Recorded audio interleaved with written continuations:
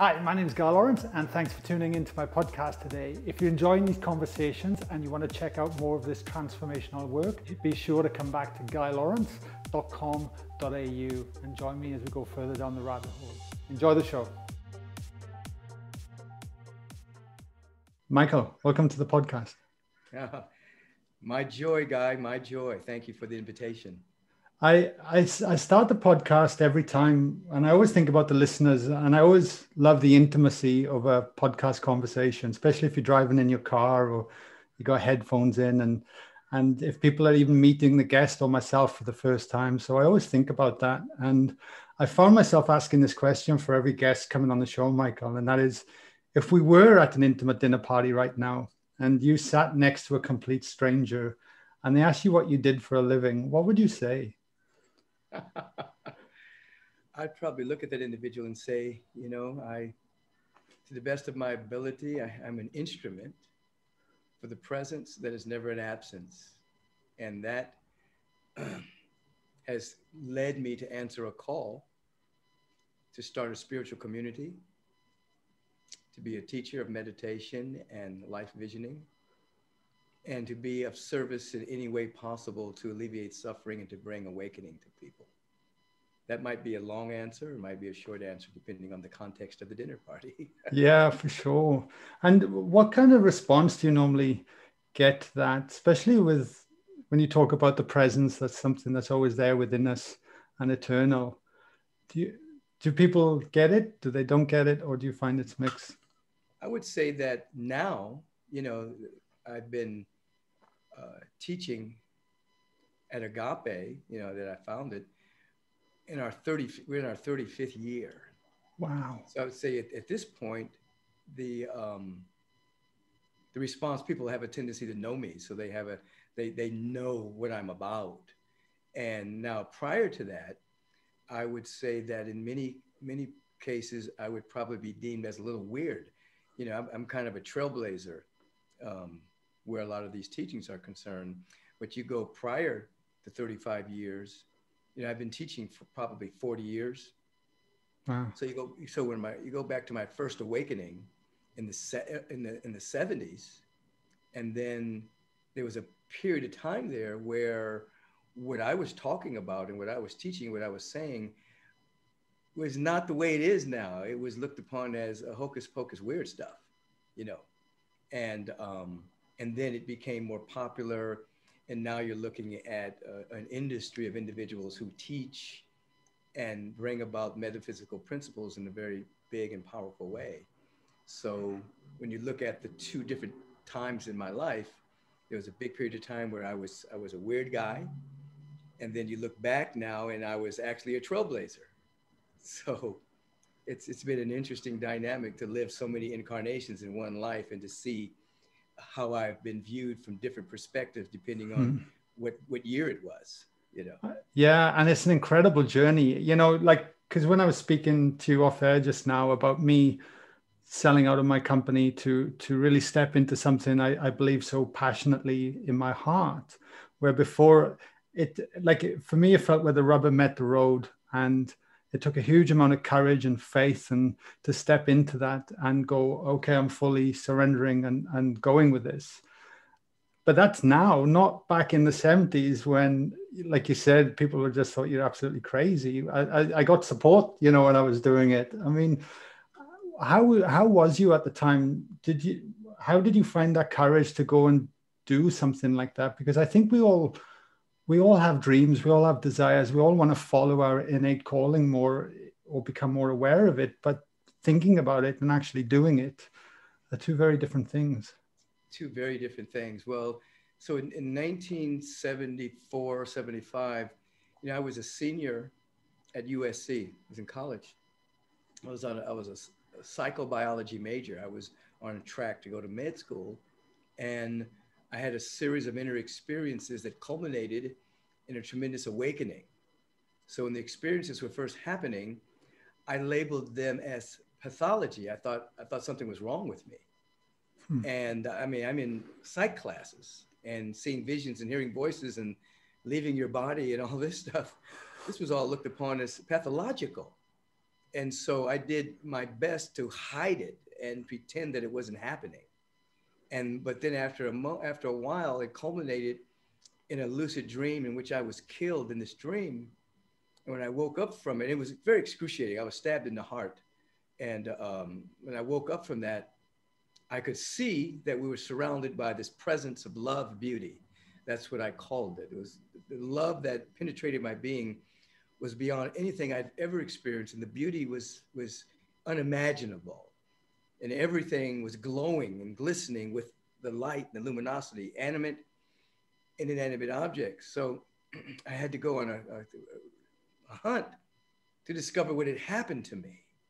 So in that process, you know, I lost most of my friends because people thought I just freaked out, and um, I didn't have any any guidance at that time as to what had occurred. So most of the people that I studied were dead. My, I, I would say my best friends were dead at the time, you know, you know, I was studying the mystical teachings of Jesus and Gautama the Buddha and Walter Russell and Howard Thurman and Emanuel Swedenborg and a number of, of individuals that I could piece together through uh, different times, different historical times, had woke up.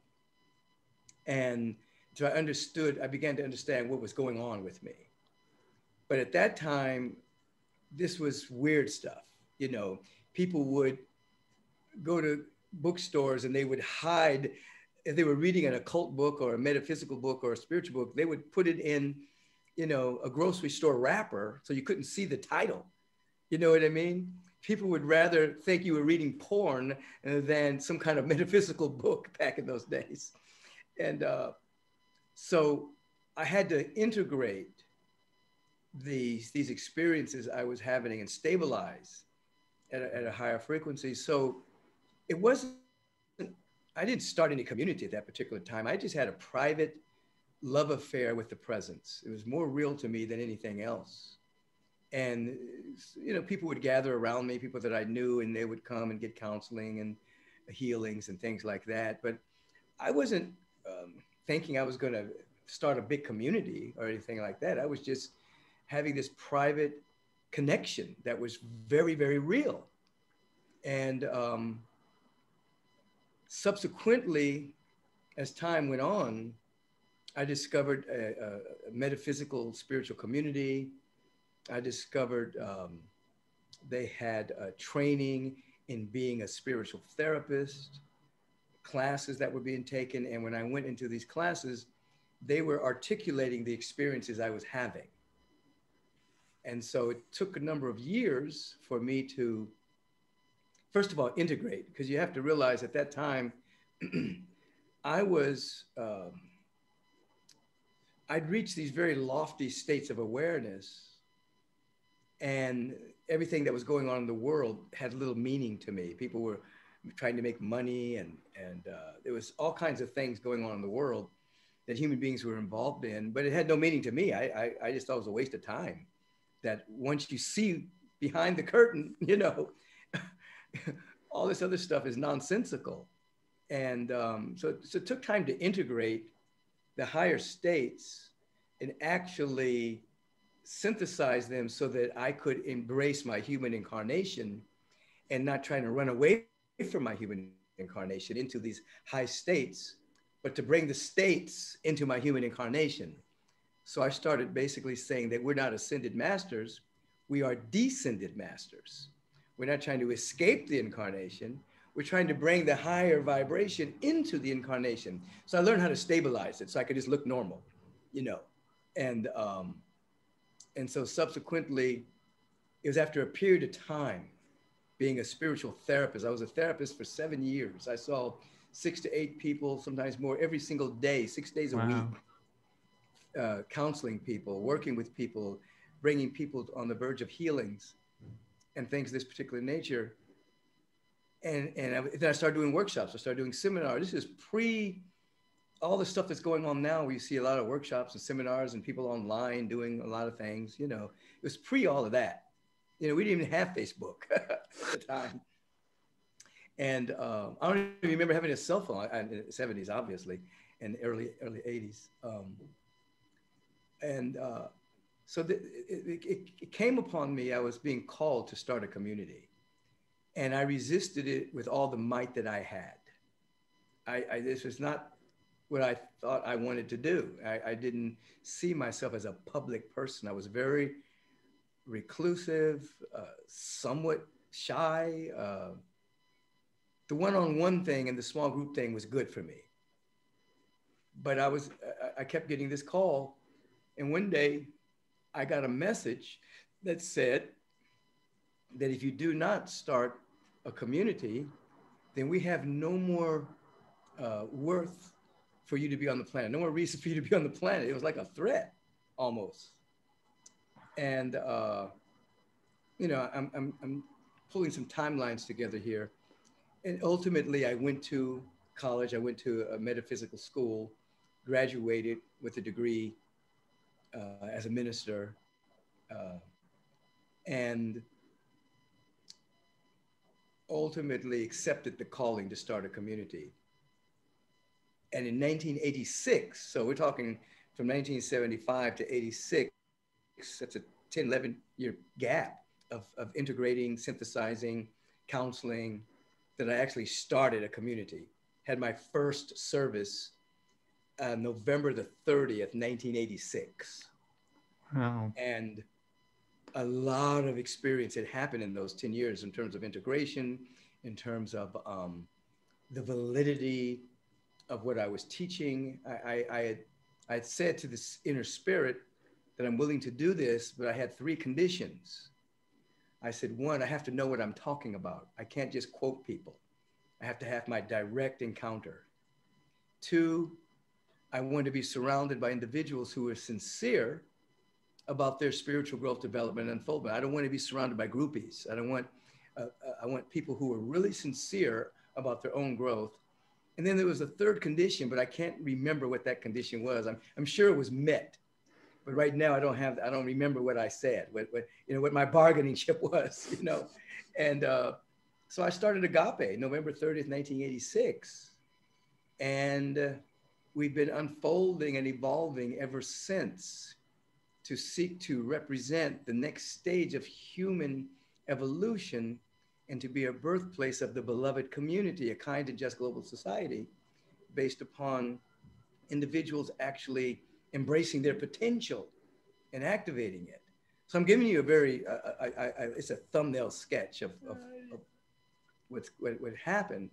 But in, in all of that, I've had like um, major openings and revelations and uh, experiences and you know I, I probably I've started writing a book listing so many of the things that occurred to me that happened to me just so that I could go back and write about it and then teach the underlying spiritual principle behind it and then a way to practice having that kind of opening. But I think a lot of that happened for me because I was hard-headed. You know, I, many people don't need that kind of stuff. But I was I had come from a kind of um, agnostic, atheistic point of view so I needed that kind of drama of awakening to let me see that this is real. It's not the figment of people's imagination. It's not just some hocus pocus, woo woo stuff. This is reality. And most people are dimensionally challenged. They only live in three dimensions and they're challenged because we're multidimensional beings. And there's so much that people can't even see. They only are living in a slither of reality. And so it, I have tremendous compassion for people who live only in a material reality because they're missing out on most of life. I hope I'm answering your question. That was incredible. Absolutely. I mean, when I, I was that guy in the material, that was all I, everything else was cut off. I, I did not know that there was a, a greater part of us that existed until I had an embodied experience and they went, holy shit, I now right. I get it finally. You know, every book, every podcast, everything I read did kind of met the intellectual mind, but I still didn't get it until yeah. I got it. Yeah. You know, you can't unseen what you saw.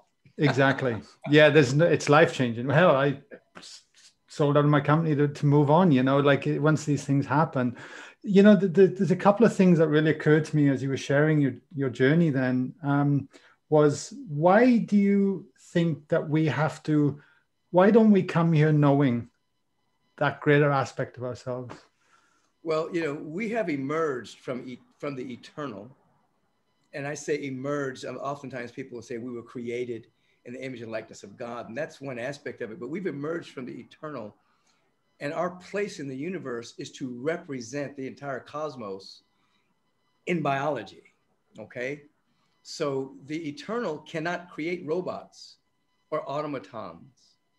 It, it, it, it has to set us free so that we can absolutely represent the presence of God, the cosmos, or whatever word you want to use there, consciously, uh, according to our unique pattern. So if you just arrive someplace as a robot that's totally awake, we, we don't have any um, there's no say so in that. There's no choice mm-hmm. in that. We're not really, as Jesus would say, uh, quoting the Old Testament, he said, Is it not written, ye are gods?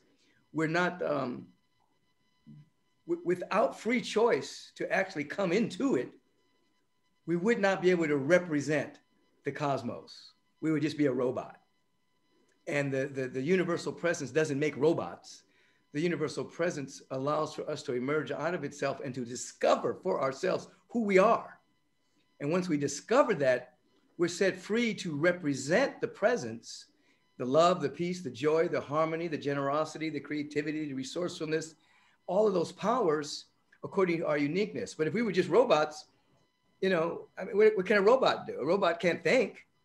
You know, a robot just follows the instructions that the engineer creates within it, the, the programming, you see. And so we had to become fully available to be able to garner our own awareness and program ourselves, so to speak, yeah. you know, with our yeah. connection with the presence.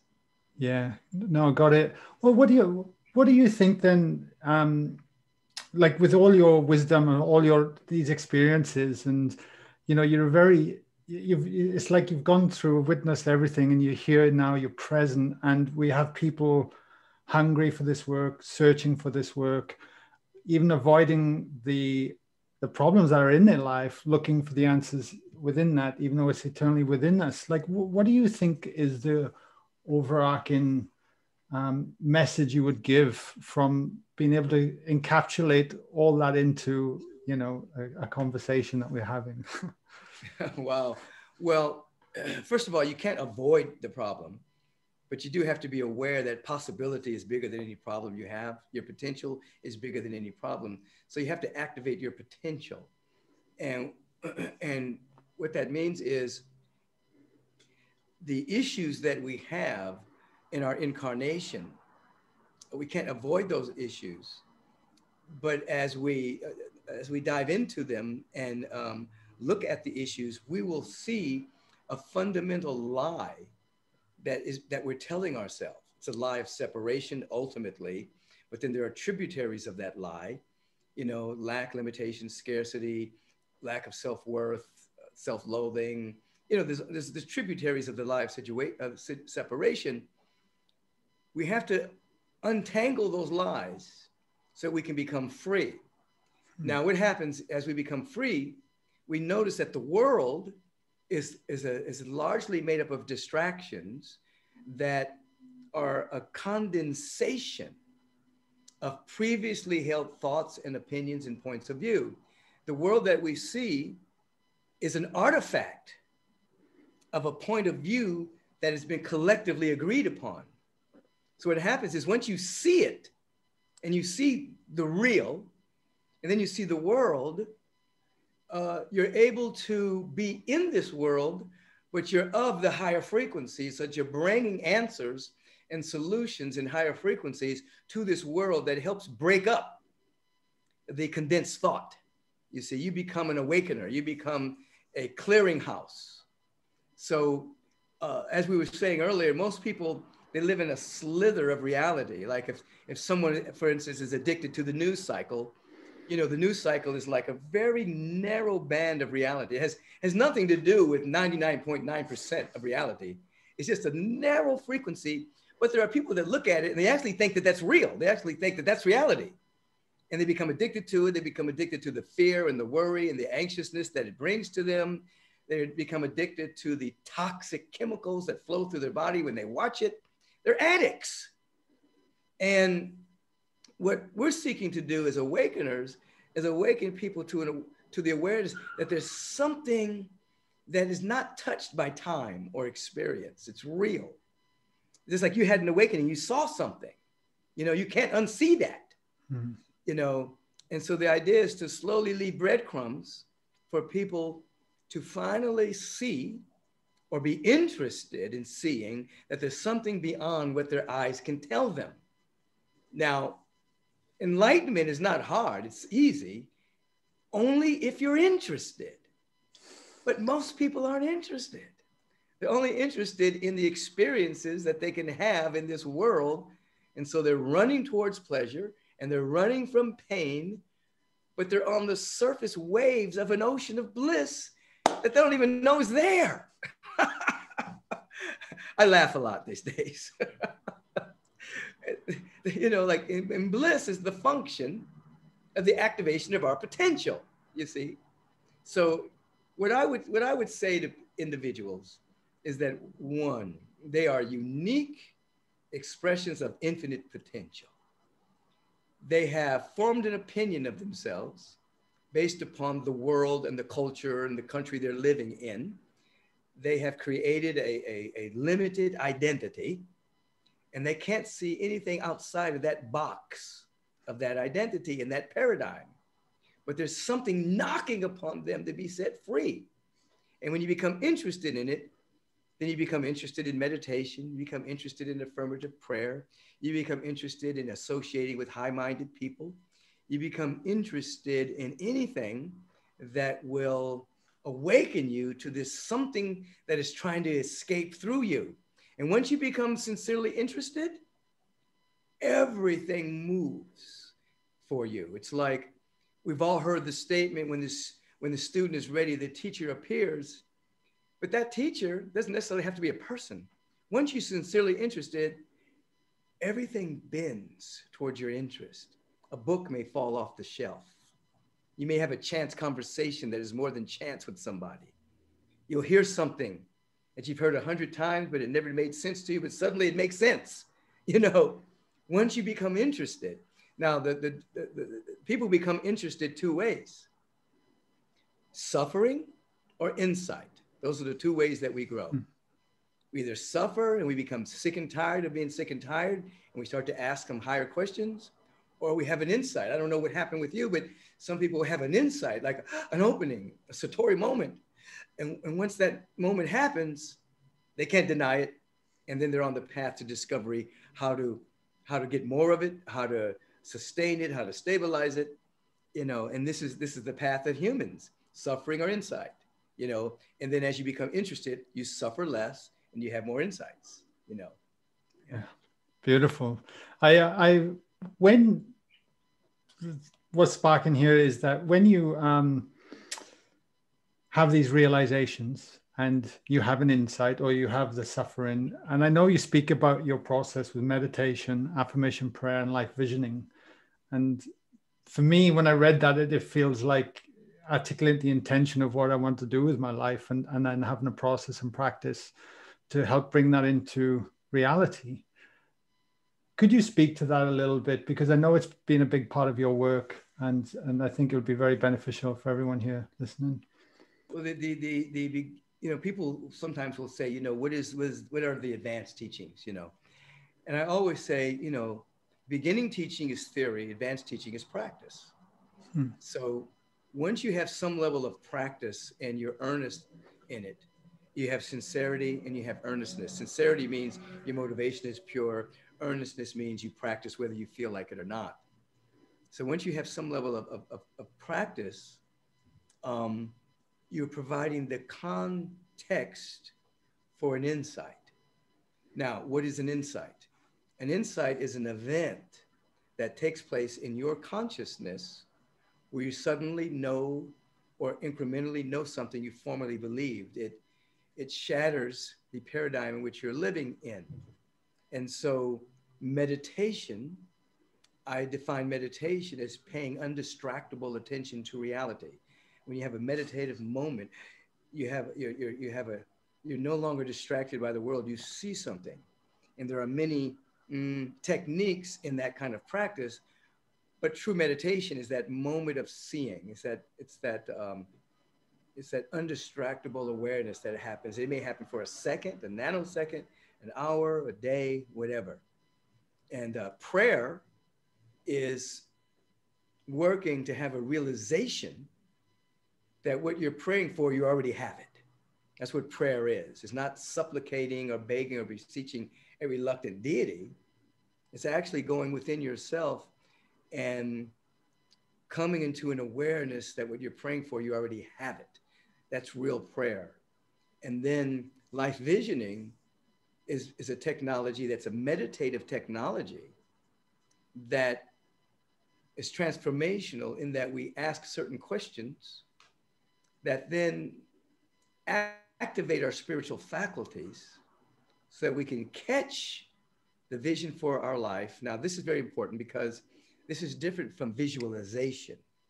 Visualization is a cornerstone of metaphysical principles where you visualize something, you have an emotional adherence to it, you feel it, and you bring something into manifestation that's beginning stages of metaphysics. But visioning is different. Vision, life visioning is there's something about us that's already planted within us that we're seeking to set free. For instance, uh, you take an avocado seed. Within that seed, there's already a design for an avocado tree. If the avocado tree seed with a vision, it would see an avocado tree, you see they would see that design that's there. When we vision, we begin to catch up the design that's been planted within us before time began. We begin to yield to it. So we're not just visualizing something we want. We're actually opening ourselves up to becoming something that's already there. You see? And so when you take meditation, you take affirmative prayer, you take life visioning, these are fundamental practices that uh, keep you on track. And I like to say, sometimes keeps the ego busy until the Holy Spirit can do the work. it keeps you busy until a real insight can occur, you know. And once you have an insight, it's a whole different ballgame, you know. Yeah. As you know. yeah. Well, I, I often th- think about the fact that we get caught up in our head so much and and and I found even from my own path that I got crippled with fear before having these insights because there was part of me that was wanting to burst through, but because of my I guess cultural upbringing, beliefs and conditioning and perceptions and everything, there was this huge amount of fear that was was around that. And it wasn't until I really understood that I had to step through and overcome that fear as well. It really evaporated, and I was able to look back and go, oh my God, that was never really there all along. But that was me, and I was terrified from it from the whole time.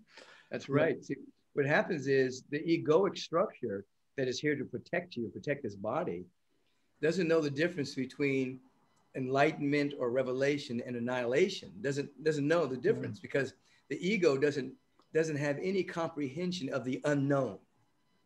And so when you begin to grow, you know, most of the goodies that you want is unknown to you right now. It's outside of your present paradigm. So when you start to, to journey into the unknown, the ego sends a signal called fear to keep you small because it doesn't know what's in the unknown. If you remember that, did you ever see that movie called The Truman Show? Yeah. With Jim yeah. Carrey. Okay, well that that was symbolic. He's he's in this show, as you remember. People are watching him, and he's in this small town that he thinks is it's reality. But It's actually these are actors coming to pretend they're his parents and friends and associates. And whenever he gets close to discovering that this is make believe, then they send a tidal wave. They send, you know, floods and rain and, you know, so that that was symbolic of the ego. So whenever you're about to broach something new, the ego will come and cast fear and doubt and worry and boredom, and sleepiness, all of the hindrances to keep you in your same paradigm. So when you finally, as you did, realize it's, fe- it's just fear, and I'm going to go through it anyway, then you come out into a different world. You say, whoa, I didn't even know this existed, you know. And and then you know the ego is sly, it's clever, you know, it creates all kinds of patterning to keep you the same. But after a while, you're able to just nod and pat the ego on the back and say thank you, but I'm going anyway. yeah. I'm going deeper anyway, you see. Yeah, absolutely. I think about um, as well the amount of fear that if you do plug into mainstream media and, and everything that the, the where the world is right now. And I often wonder, especially from your your experiences of seeing so many people and being in doing this for so long, do you think that we are all ready and searching to overcome the fears that are in our life and, and are open more to this work? Or do you still think there's that we, we still um, the majority of people are not looking at it then? Well, I'll answer two ways. One, one I am optimistic, and an optimist is not a person that doesn't believe there aren't issues or problems. An optimist is just a person that knows there's a solution to everything. That's what an optimist is. So I'm very optimistic. And I can say at this stage of our development, after looking at the arc of the last 40, 45 years, that we are further along than we were 30 years ago. You know, this, this kind of conversation and this uh, uh, is, is much more prevalent and popular throughout the world than it was 30 years ago. There are more people meditating, more people studying, more people reading these kind of books than percentage wise, not just numbers wise, but percentage wise than any time in human history. So, so as a species, yes, we can, we can overcome the fear. And the second part of your question, still the majority of people are, uh, are not there yet. Primarily, you have a group of people who are still living under the aegis of survival. People that are living in war-torn countries, uh, people are living in inclement weather, you know, floods, fires, you know, uh, droughts, uh, you know. Uh, and so there are people that wake up every day and they're not thinking about enlightenment. They're thinking mm. about how am I going to get food to feed my child? You know, so that's what's on their mind. So I like to, I teach that we have to meditate in proxy for these people because they can't, we must. And because we can, we must, because there are millions of people who just can't do it. They're just on the edge of survival. And then there are people who are caught up in the world and they're materialistic. And, and this is this kind of conversation would be foolish to them. You know what I mean? This is foolishness. What are you talking about? Meditation and, uh, uh, uh you know, but as it states in one of the scriptures, that the spiritual can only be discerned by that which is spiritual, that a, uh, a natural man and woman can't, can't discern anything spiritual. They think it's foolish. So when you start to have a spiritual opening, then it's no longer foolish. It's like, oh, I see. So yeah, the majority of people are still, you know, languishing and trying to find happiness in temporary things, trying to find eternal happiness in something that's temporary, which will never happen.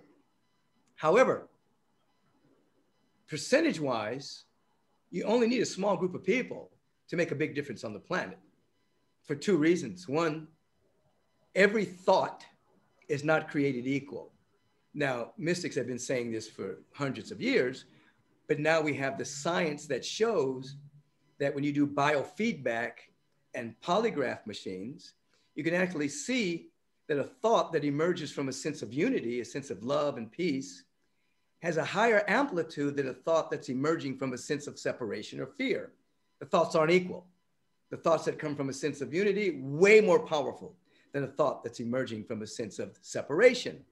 So you have groups of people coming together to meditate, hmm. worldwide healing meditations. And so those, and even though like we did one um, uh, a number of months ago, we had 8 million people that came wow. to it. We, you know, um, we've done a couple that's still a small drop in the bucket between for, for billions of people yeah. on the planet. But percentage wise, it's making a difference on the planet.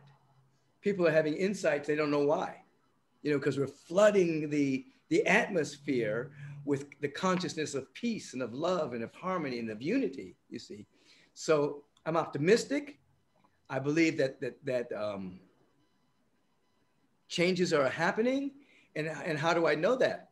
Because you see the last gasp of certain paradigms that are dying.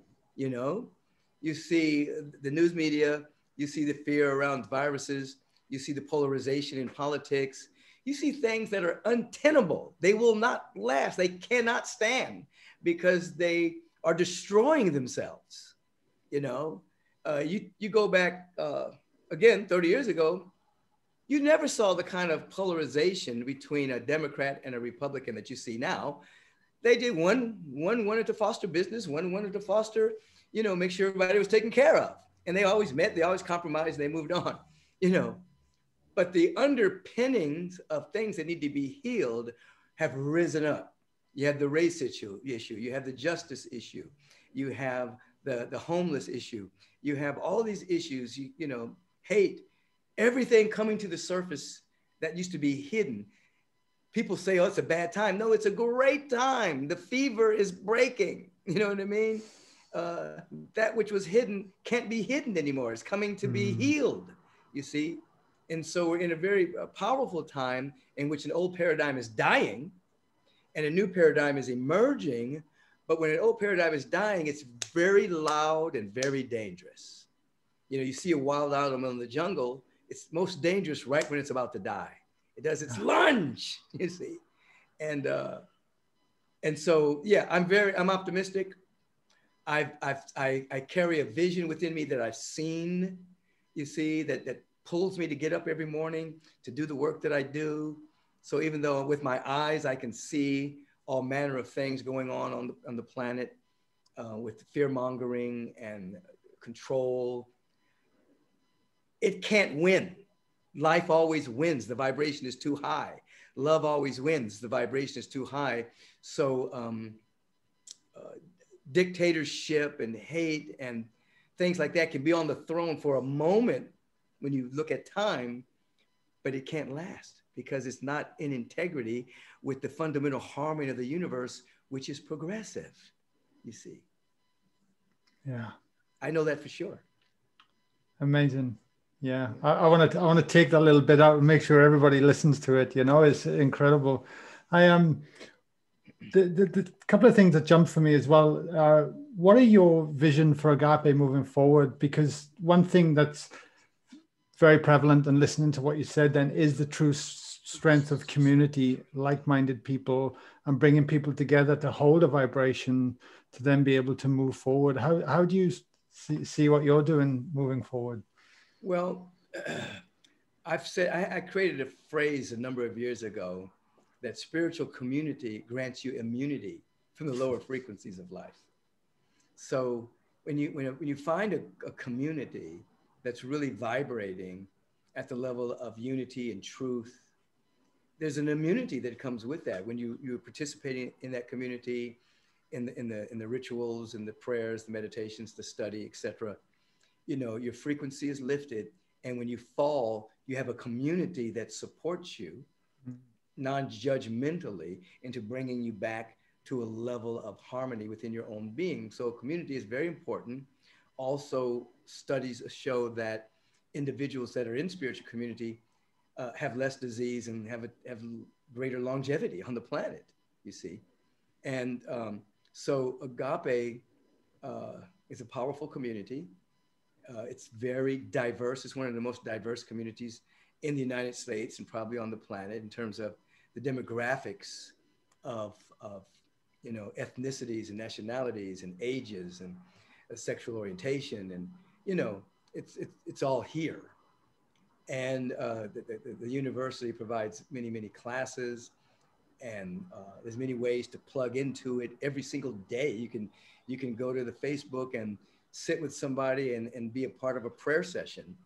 You can, in the afternoon, you can be a part of a meditation session on Friday nights at 5.30, you can be a part of a community gathering and listen to whoever we're hosting that night for a great dialogue. Um, Sundays, three services. So it, it has all this stuff going on that anybody can plug in whenever they want, however long they want, how many times they want a week. Mm-hmm. And so I think any there's a lot of valid spiritual communities on the planet. A lot of them. So I and so I I I I'd like to think of um, what I call evolutionary collaboration, where we're all supporting each other and collaborating with each other whenever we can to actually create that big field of possibility for humanity to take the next leap in evolution. So community is very powerful, and Agape has grown tremendously, and it's grown tremendously during the um, um, arrested. What does it call it? Safer at home. House arrest. It's called house That's arrest. Right. Sometimes it's called quarantine, but this is the first time in history they quarantine healthy people. So it's more of a, it's not really a quarantine, it's more of a house arrest. You know, don't go out, you know. Uh, uh, you know, be, be, back in the day, they would quarantine people who were sick. You, quarantine, get that. But the quarantine, but the, the house, they're arresting people, house arrest for people who aren't sick. so it's, a, it's, an interesting time in our human history that we'll look back and we'll laugh about it, you know. But um, so agape has grown during this time even more. I mean, uh, we, a million more people started viewing and wow. tapping into our website, and um, uh, because people were looking for a voice of sanity in a community that was bringing real teaching and inspiration, and not just doing the party line about whatever was being said on the news, you know. And so we're not we don't stand against anything, you know what I mean? It's like we're for something but we're not against anything. If you, yeah. if you understand that vibration, you know. Um, so I think that, so right now, obviously, most of our happenings are online, the yeah. virtual, the Sunday services, everything is online. So I would see that when we're able to meet again, then, you know, we'll do both. We'll be on, we'll still be online because we were online. Most of the congregation was online even before the house arrest even before that, we were most of the people were, were around the world. So that just increased. So when we go back to live audience, we'll still have be ministering to the people around the world, and then we will probably look to find a nice retreat ground and a nice place for our headquarters. Incredible. You know, uh, for, to teach our youth and uh, our, our nice restaurant and you know, things of that particular nature. Yeah. So I, I see that occurring. Amazing, amazing. Your your assistant Lee was saying that uh, you've also developed an app, which is incredible. I, I that's no that's no easy task. yeah, we, uh, I, I, have one app. They can they can go to michaelbeckwith.com. Yeah. My website, and they can just uh, look at how to get the app. And there's uh, things on there that are for free. There are things on there that are premium, and and uh, you know, it's it's a lot of people um, are subscribing to the app. A lot of people come to my Instagram page and come to my. I do a, a, a an interview every Wednesday. I did one today. Every Wednesday at 1 p.m. Pacific time with someone on my IG live, and um, I'll probably have another app that that brings some other things that I'm doing uh, uh, to the uh, people as well. Yeah, beautiful. I, I actually before jumping on today, I dropped into one of your Instagram live interviews. Oh, I saw it. Yeah, with Jared Powell. Um, oh yeah, last from last week. From last week, yeah, because I, I had Brandy on the podcast um, last year, and yeah. I didn't know his story, and the conversation you had was brilliant. So I definitely recommend people go and check that out. What a uh, yeah, yeah, yeah, yeah. Jerry grew up right here at Agape, as did Brandy too. Right. There they, you go. They didn't even know each other when they were coming here. Wow. Wow. And uh, Brandy would fly in from Oakland to come to service. And uh, it's interesting. Now we're all interconnected. Brandy's one of my best friends and partners, and Jerry, you know, and uh, partner. And it's really beautiful. It is. And it's amazing. Technology allows us to be able to do this and have these conversations and, and bring people together, you know, and, Absolutely. and I, I, I feel blessed every time I sit here to, to speak to people like yourself, Michael, and just have a conversation and then share it. It's just uh, incredible. And it's the world we live in, which is such a bonus with the online uh, under the current circumstances. I call it the Corona bonus. Yeah. the Corona bonus is giving people time to reflect, to contemplate, to ask the question, who do they want to be when this is over? Mm-hmm. You know, we talk about uh, binge watching your thoughts. If you're going to binge watch Netflix, you might as well binge watch your own thinking. so that you can actually change so that when you go back out, you're not the same person.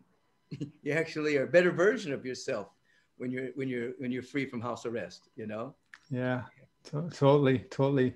I um I ask a couple of questions on the show to everyone before we wrap up. And the first one is what what does your morning routine look like these days? Uh, a lot of things are very integrated within me. Um, but when I'm on it, uh, uh, you know, I wake up and I put my feet on the ground. I, I, I just, you know, even if I'm kind of sleepy, I go into uh, a, a, gratitude feeling. I'm mm. just grateful. And I will lift my hands up and, and I'm thankful for life. I'm thankful that I exist. Then I surrender to life. I say, I, I surrender and say in substance, you know, use me, surrender. And then I say, what is my assignment? And whatever my assignment is, give me the strength to handle my assignment today with ease, grace, and dignity. So it's gratitude, surrender, and what's my assignment? That's just just getting out of bed. And then I'll um, have, a, have a period of meditation. And then I go work out the physical temple. Then I come back home and uh, make my smoothie, my, my green shake that I make. And then I'll have a, a, a greater sitting of, of, meditation and then shower and everything, and then come to the office and see what whatever's on my schedule for that day to accomplish. And then in the, the evening, I may have another moment of meditation. Well, I'll always, you know, have moments throughout the day of introspection, stopping. And depending on the, um, the intensity of the schedule, sometimes I could have longer periods than others. Mm. But never do I go a day without stopping and and meditating. You know, um, some people ask me, you know, over the years, you know, you, you meditate every day. You're like, it's like a, like a Superman or something. I said, no, no, no. If I was Superman, I wouldn't have to meditate every day. you know, that, that the meditation grants you, first of all, uh, it's anti-aging because you go in, at some point you go into the timeless. So your body recalibrates, hmm. Uh, it recalibrates anew out of time. Your, your, your, uh, your brain develops a level of coherence. Uh, I mean, there's so many things that happen, but beyond the physicality, you start to see the world that most people can't see. And now you're approaching spiritual liberation, you see. Yeah, yeah. beautiful. Thank you for sharing. Um, if you could arrange a dinner party with a few people from the past, the present, the future, or whoever it might be, and you could have a conversation with them. Is there anyone you would like to have on there and have a conversation? Maybe a few. Some of them, as I'm speaking to you right now, I just realized that the first three people I was going to mention I've actually met. you know, but uh, you know, Nelson Mandela. You know, I had the privilege of giving him wow. the Season for Nonviolence Award at the Parliament of World Religions in South Africa, and I met him, and he was so present, so available um, His Holiness the Dalai Lama, who I, I, had the opportunity to work with, facilitate uh, four meetings, uh, uh, uh, three synthesis dialogues with him. And that was a very powerful experience meeting with him. And uh, I met Dr. Martin Luther King Jr. when I was a little boy at uh, Homelands Methodist Church. And I shook his hand. My mother took me to see him speak. I was a young teenager. And um, I remember shaking his hand and I said, Mom, his hands are so soft. And she said, baby, he does a different kind of work. and uh, so I think about some of the people I was going to say, and I, re- I realized I've met these. That's people. amazing. You know, I met, and Dick Gregory was a friend of mine. You know, uh, Dr. Howard Washington Thurman, who was a great mystic theologian, who was the one who met with Gandhi and um, brought the seeds of nonviolence back to King I met him. I, I, stayed in Thurman Hall when I attended Morehouse College, and I met him on campus, and he was brilliant. I was just listening to him two days ago. His words are timeless. You know, mystics' words are timeless. It doesn't matter what year they said it, it it's timeless.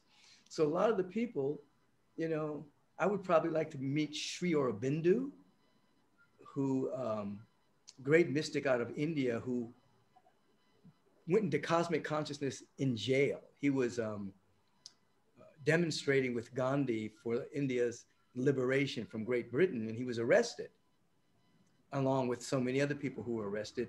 And while he was in prison, he went into cosmic consciousness. And when he came out of jail, he started Auroville, which was a spiritual community at that time. And um, uh, he wrote the book, The Life Divine, which is something that's close to my heart.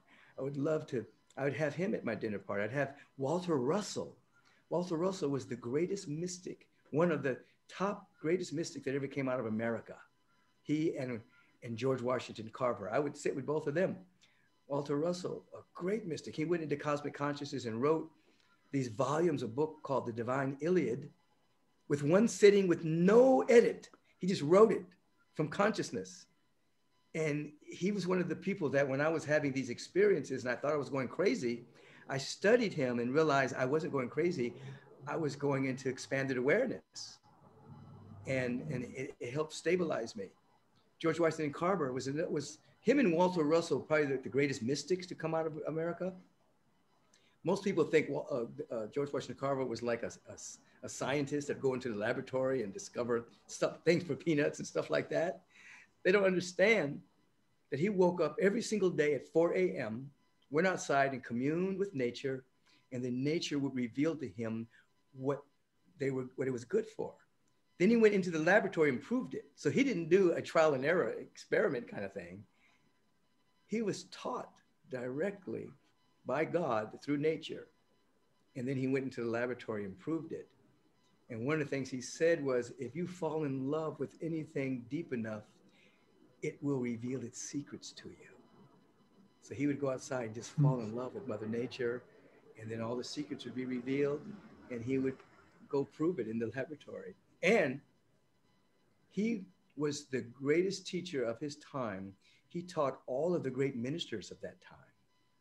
But no one could share where they were learning all this good stuff from because he was a black man and it was illegal for him to teach white men. So they had to sneak to his house at night and he would um, anoint them into the higher states of consciousness. They'd have to sneak out. And then they would go start these beautiful ministries, but they could never say that it was George that was teaching them, you know. So we've come a long way. Unbelievable. Unbelievable. Yeah, those, those, are some of the people I would meet. I would love to sit with Kuan Yin. I would love to sit with Harriet Tubman, you know. There's some there's a lot of people that I would love to have at dinner and, and, and chit chat with. oh, it would be incredible. You know, you it, it just helps me reflect of the so many amazing people around and there's so much amazing information that's out there if we if we choose to go seek it absolutely you know. And uh, for everyone listening we do show notes so if you want to see who michael just mentioned of all the names they'll all be there underneath in the show notes. Um, last question. Everything we've covered today is there anything you'd like to leave the listeners to ponder on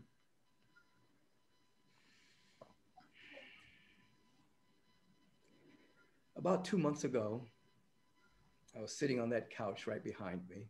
I was about to do a Zoom class. And as I did right before I talked with you, I sat and I kind of lay on the couch a little bit and just meditate and, you know, and I did. And when I got up, I was blind. I couldn't see. I was, the light had engulfed me and I couldn't see anything but light. I called Lee in, I called Reverend Kathleen in, and I said, I'm blind. And um, so we postponed the Zoom class for a while. And little by little by little, I could see in both dimensions. I could see the light that I'm surrounded by, and I could see form. And then things never became quite normal, but I could see clearly. And when I looked at Lee, and when I looked at Kathleen, I saw a fountain of light inside of their being. It was very luminous. And I realized that that's who they were, that they, that's who you are. You're light. it is written that you are the light that lights up every man and every woman that comes into the world. And I want people to know that they are luminous, they're brilliant, they are unfolding genius, they are the light of the world. And they're not just a body or a mind or a set of experiences, they're not what they own. They are really light, they are really light, brilliance limitless love, intelligence. And one day, and it's inevitable, one day you're going to discover that. It, it, it's going to it's going to dawn on your awareness how brilliant you are, and the fear will dissolve, and all the things you've been worried about, you realize you did a lot of worrying for nothing, because there's no such thing as death. Those are just doorways to a greater expression of life, and and if I were to leave them with anything today, I would just say, you are light. And take that in, develop some kind of practice, some kind of practice. I teach practice does not make perfect. Perfect practice makes perfect. Many people are practicing worry, they're practicing doubt, they're, they're practicing fear. So that's what they're practicing but you must practice perfection. You must practice an expanded awareness that you are light, you are luminous, you are connected, you're one with the presence. There's limitless potential within you. You have to practice that. And then things unfold bigger and better and more magnificent than your wildest imaginings. Now, I know that for sure. I, I know it for sure what, what a way to end a podcast. Thank you so much for sharing, Michael. Um, where can I send everyone if they want to find out more about your work? Your Instagram account, you do lives, your website?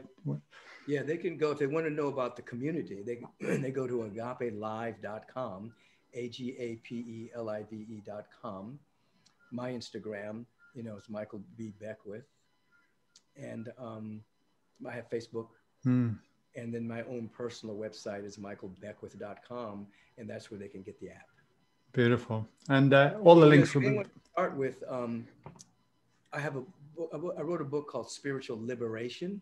It's in mm-hmm. paperback or hardback. They can get that. Or I also have a book called The Life Visioning Process. Ah. Very powerful, and a number of other books as well. They go down. They go down that tributary. They'll find other books that I've written, but those two books are like kind of like must reads. Yeah, beautiful. I'll uh, I'll make sure everything's linked below. And um, Michael, I'd, thank you so much for giving me your time today and, and coming on here. Um, you've certainly made a huge impact in my life over the years and uh, helped me on my journey. And uh, it's amazing just to be able to hopefully contribute back a little bit for all the work that you've done and pass on your message here in Australia is, is deeply appreciated. So thank you. Well, thank you so much. And I hope to get back to Australia. I've been there a couple of times and um, I've been invited. So I'll let you know when I'm coming back. Please do. Please do. Thank you.